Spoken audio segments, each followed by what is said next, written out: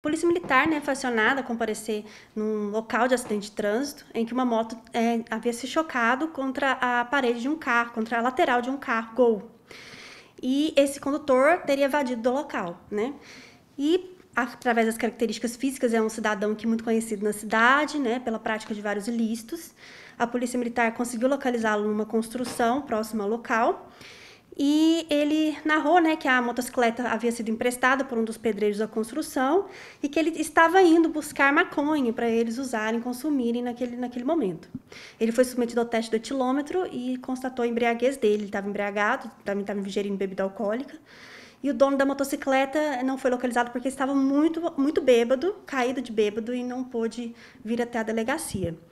É, aí esse indivíduo foi preso em flagrante pelo, por dirigir sem CNH gerando perigo de dano e embriaguez ao volante. E também na sexta-feira houve uma situação de roubo consumado. Como que aconteceu essa situação? Sim, o motorista procura a polícia, né? O motorista de uma, de uma carreta, narrando que ele teria sido abordado, a carreta teria sido abordada por uma moto que passou pela lateral do veículo dele e teria pedido para ele parar a carreta. Ele parou o carro, né? É, não está muito esclarecido ainda a motivação dele ter parado a carreta. E esse indivíduo, esses dois indivíduos que estavam na moto, é, subtraíram 800 reais dele. Exigiram que ele passasse 800 reais, ele entregou os 800 reais e posteriormente foi liberado.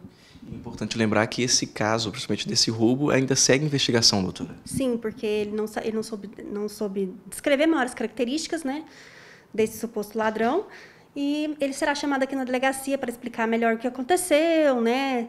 É, por que, que ele parou a moto, por que, que ele parou essa, esse, esse veículo, né? Mesmo é, estando no, é, na carreta e os outros dois apenas de moto. Então, essas circunstâncias têm que ser bem esclarecidas, né?